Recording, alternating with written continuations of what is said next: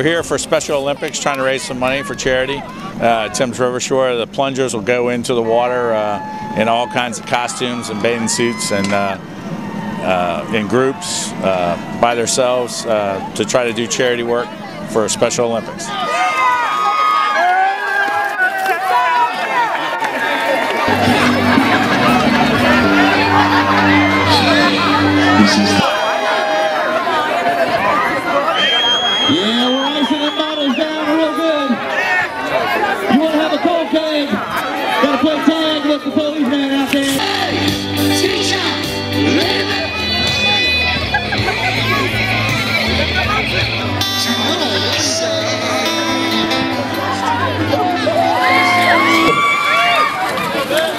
Right, we got Angry Birds coming up next.